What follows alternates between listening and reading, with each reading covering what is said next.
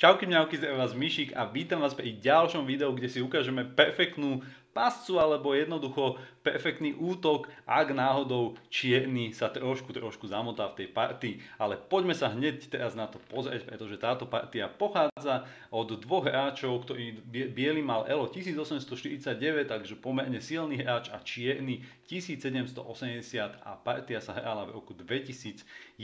Začali partiu klasickými ťahmi E4, E5, jazdec F3 teda napadol pešiaka, čierny si ho pokryl ťahom jazdec na C6. No a teraz vlastne ten biely išiel alebo zvolil otvorenie, ktorá sa volá, ktorá sa volá škótska hra, e, zatiahol pešiakom na D4, teda plánuje zobrať pešiaka na E5, lebo ten toho už dvakrát napadol. No a tu ten čierny teda rozmýšľal, akým spôsobom by ho možno najlepšie pokryl a vymyslel ťah F6. Celkovo ťahy práve pešiakom F-kovým pred kráľom nie sú veľmi šikovné. Niekedy sú dobré, ale zrovna v niektorých prípadoch dobré nie sú. No a tu sa nachádzame v podstate v treťom ťahu partie a môžeme povedať, že ten čierny tú partiu v zásade prehral. Pýtate sa ako?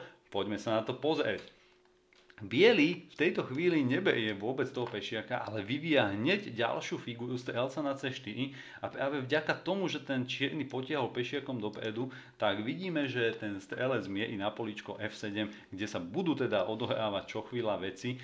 No a čierny stále v takej nejakej svojej letargii pokračuje vo vývine, zahral e, strelcom na E7, no a toto je už úplný, úplný koniec, pretože biely vyhadzuje pešiaka na E5, Čierny takisto vyhadzuje pešiaka na E5, ešte je spokojný, ale prichádza zdrvujúci úder. Dáma na, na D5. Spolupráca strelca a dámy, ktoré, ktorí mieria na poličko F7 a chcú dať tomu kráľovi šahmat, je doslova pre toho čierneho nekryteľná. Poďme sa pozrieť, aké možnosti ten čierny teda ešte má v tej partii. Prvá možnosť, e, čo môže čierny vlastne v tejto chvíli spraviť a čo sa vám môže stať, je ťah D6. Ťah D6 znamená, že ten čierny král chce prípadne cez D7 nejakým spôsobom možno niekedy utiec, ale toto je dvojťahový mat, priatelia. Nenechajte sa vyviezť rovnováhy, pretože dámov tak či tak dáte ten šach. Král síce utečie a teraz rýchle taktické okienko a ja verím, že ste na to došli, dávate strelcom na E6. Takýto krásny šach mat. Naozaj nemá ten čierny kam utiec. OK, poďme si pozrieť teda ešte druhú možnosť ktorá môže byť taká na prvý pohľad komplikovaná, ale v zásade je úplne, úplne prehratá a vy v tejto chvíli budete vedieť, akým spôsobom tú partiu vyhrať.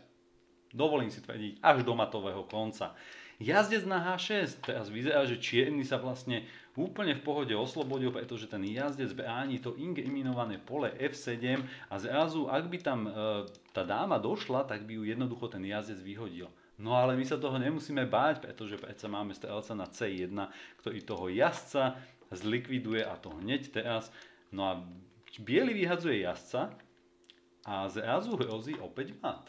To znamená, ak by čierny strelca vyhodil, dostáva opäť mat na F7. To znamená, biely má v tejto chvíli hneď už o figuru viacej a plus hrozí jednoťahovým šachmatom.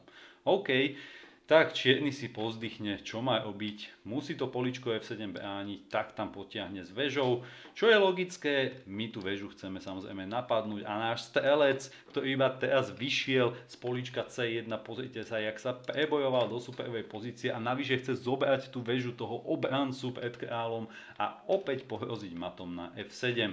Fú, tu už čierny teda naozaj mu tečie do topánok, tak s tou väžou samozrejme ustupuje, nemôže si ju nechať nechať vyhodiť. OK, ustúpil s ňou na F4, veľmi ťažko hľadať nejaké poličko, kde s ňou inde ísť. No a zapájame, zapájame proste ďalšiu figurku jednoducho do útoku.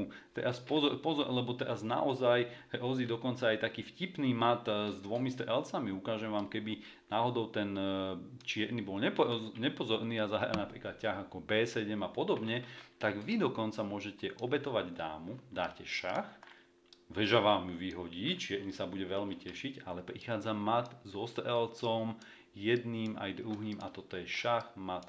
Naozaj ten čierny je tu pod takým útokom, že v každom ťahu, v každej kombinácii jednoducho tú partiu prehráva. Takže po jazdec na E5 on teda toho jazdca zlikviduje, aby ten mat nedostal a váš strelec to je proste king of the, of the chessboard, tak to poviem A pozrite sa, akú spravil KE, pretože berie jazdca na poličku E5 a zároveň ohrozuje aj tú väžu, ktorá jediná a posledná kryje pole F7, na ktoré si už mierí a cibrí zuby práve naša dáma z D5, ktorá tam chce dať mat.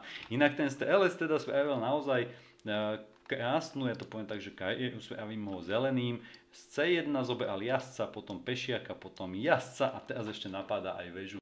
To je naozaj fantastická útočná figurka v tejto chvíli. No a čo môže robiť ten čierny? Tak čierny už úplne, úplne zo zúfalstva si povedal, má napadnutú väžu, ale pozor ešte, po, čierny skúša poslednú fintu a povie si, že napadne vám dámu. Pretože vy keď vezmete väžu, tak on vám vezme dámu a to už ten čierny by sa z toho akože dostal. Ale priatelia na šachovnici pred sebou máme dvojťahový mat. Kto chcete Zastavte si video, skúste ten mat nájsť, ak nie, poďte sa spolu so mnou na to pozrieť. Jednoducho s dámou ideme na poličko G8 a dávame tomu kráľovi šach. Uh, tu si čierny povie výborne, tak ja s tou napadnutou väžou od strelca aspoň sa stiahnem na F8 a plus aj tú dámu bielemu napadnem, no a tu sa netreba zlaknúť priatelia, tu sa naozaj netreba zlaknúť, pretože do hry prichádza opäť náš fantastický strelec, ktorý v tejto chvíli dáva šach, mat. Pýtate sa, jak je to možné, však veža ho môže vyhodiť. No, práve že nemôže, pretože ak by ho väža chcela vyhodiť, tak zrazu by odokryla a teda 8 tej dáme a dáma by dávala kráľový šach. Takže tá väža je priputaná k poličku F8 a partia končí takýmto krásnym matom so strelcom. Ja vám ďakujem za pozornosť a za vaše odbery, lajky, komentáre. Budem sa tešiť na ďalšie video, pri ktorom sa spoločne stretneme. A majte radosť zo šachovej hry. Čauky mňauky, zdraví vás Myšík.